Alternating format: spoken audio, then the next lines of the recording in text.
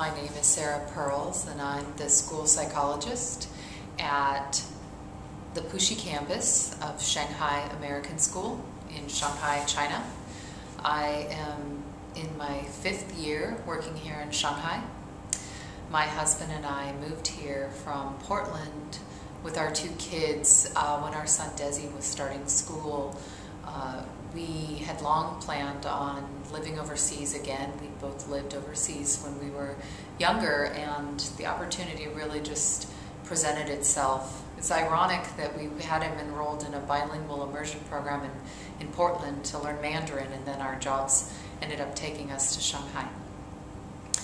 So I've really only learned about character strengths, at least the VIA iteration of character strengths over the last couple of years. Um, I'm in my seventh year as a school psychologist, and every piece of research I read around special ed talks about how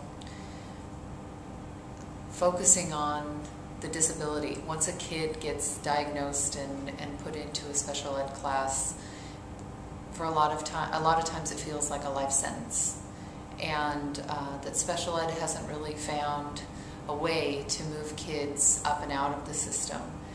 And the notions around Dr. Seligman's work of um, character development, character strengths, positive psychology, focusing on what's right with people just really resonate with me. I used to find writing my reports to be painful as I was writing this long list of deficits that kids have and got the areas in the testing where they were really showing weaknesses and compared when compared with their peers.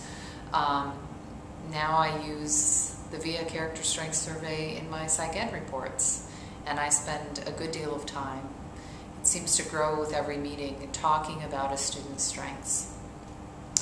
Uh, I find that Dr. Fredrickson from Chapel Hill, her research around the broaden and build, build theory, where student, the more you're talking about these positive emotions, the more open you feel, that that just seems to happen. It happens with parents, it happens with kids, it happens with teachers.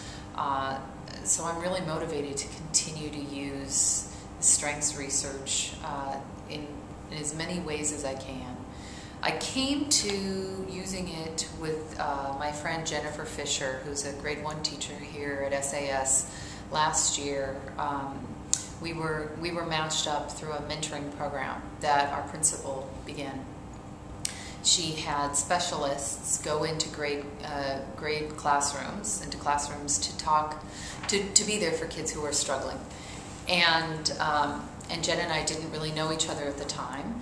Uh, she had come to a workshop that I did with a, with a high school counselor about positive psychology in October.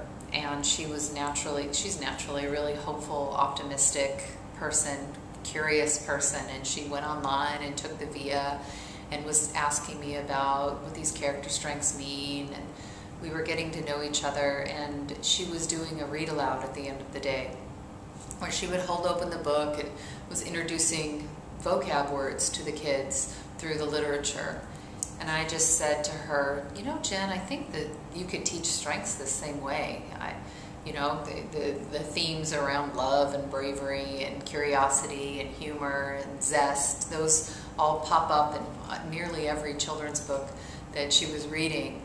And she just went for it. She went crazy with it and was so reinforced because it feels so good that it just began to spread throughout her day. Um,